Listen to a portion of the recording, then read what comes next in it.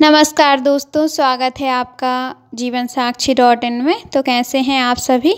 उम्मीद करती हूँ कि अच्छे ही होंगे। अगर आप शादी के लिए एक अच्छे सही जीवन साथी की तलाश कर रहे हैं और आपको एक अच्छा योग्य जीवन साथी नहीं मिल पा रहा आपके लिए, आप काफ़ी समय से तलाश कर रहे हैं इसकी तो बिल्कुल आप सही जगह पर आए हैं। हमारी संस्था जीवन साक्षी डॉट इन ऐसी लड़कियों के बायोडाटा पब्लिश कराता है। जिन लड़कियों की आर्थिक स्थिति खराब होने के कारण रिश्ता नहीं हो पाता है या जिनके हस्बैंड एक्सपायर कर जाते हैं या फिर जिन लड़कियों और औरतों का तलाक हो जाता है तो ऐसे रिश्ते हमारी संस्था में पब्लिश किए जाते हैं। जो भी लड़की वाले हमें उनकी प्रोफ़ाइल वगैरह देते हैं, उनके बारे में हमें बताते हैं, उनकी जानकारी हमारी संस्था के माध्यम से आपको दिखाई जाती है ताकि आप ये डिसाइड कर पाएँ कि ये वधु आपके लिए है या नहीं है। अगर आप के लिए एक सही जीवन साथी आप नहीं ढूंढ पा रहे हैं तो बिल्कुल आप सही जगह पर आएँ। हमारी संस्था आपको एक एक वधु दिलाने में पूरी मदद करेगी। तो आप हमारी संस्था से जुड़े रहें ताकि आप अपने लिए एक योग्य वधु की तलाश कर सकें जो आपके अकॉर्डिंग हो। तो जो आप स्क्रीन पर फ़ोटो देख रहे हैं, आज हमें इन्होंने अपना बायोडाटा भेजा है। इनका नाम सीता दुबे है।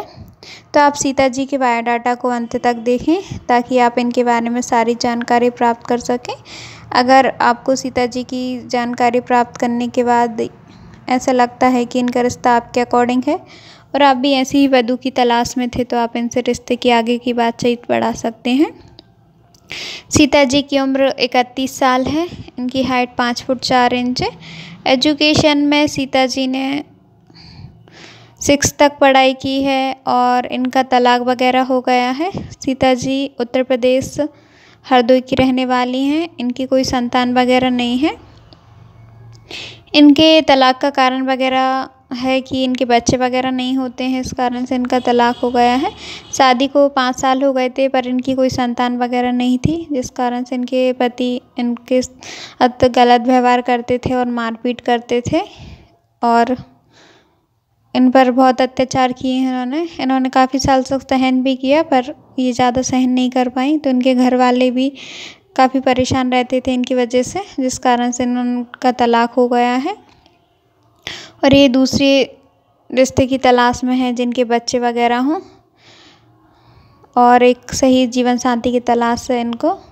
तो आइए हम आपको बताते हैं कि इन्होंने क्या बताया हुआ है, कैसे रिश्ते की तलाश है इनको दूसरी शादी के लिए।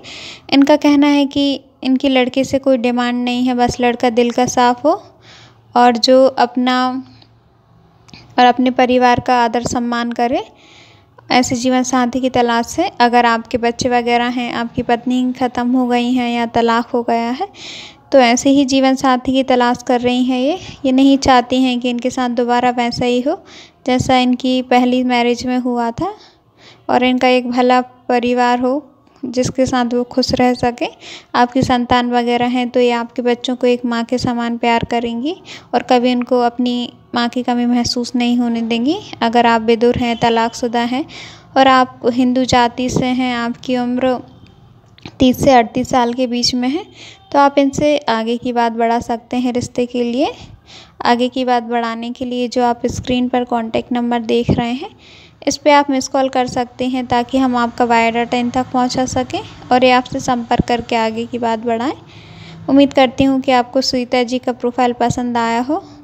अगर पसंद आया हो तो वीडियो को लाइक करें, साथ ही आप हमारे यूट्यूब चैनल जीवन साक्षी डॉट इन को भी सब्सक्राइब करें ताकि आपके पास नए रिश्तों की अपडेट जल्द से जल्द मिल सके। थैंक्स